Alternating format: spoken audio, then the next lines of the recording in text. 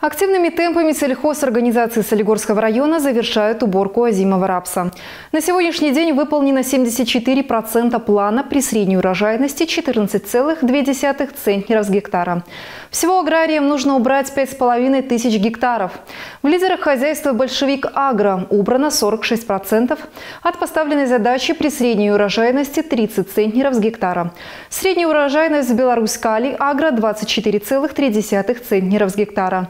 В агрофирме «Красная Нива» площадь уборки озимого рапса составляет 350 гектаров. Работают три комбайна, у нас три рапсовые стола, они все работают. Ну, как бы 19 центнеров с гектара получаем, уже намолотили 402 тонны на сегодняшний день. Сегодня уже намолочено больше 60 тонн. Ну, работаем, работаю я довольна. Как бы работают механизаторы, комбайнеры слаженно, проблем никаких нету. Ну, работаем. Больше 60 на сегодняшний день рапса убрали. Ну, пока вот уже отгрузку начали рапса. Следом идет переработка, чистим его, дорабатываем, досушиваем. Также в хозяйствах Солигорщины приступили к уборке зерновых. Всего предстоит убрать почти 30 тысяч гектаров. На сегодняшний день убрано почти 430 при средней урожайности 30 центнеров с гектара.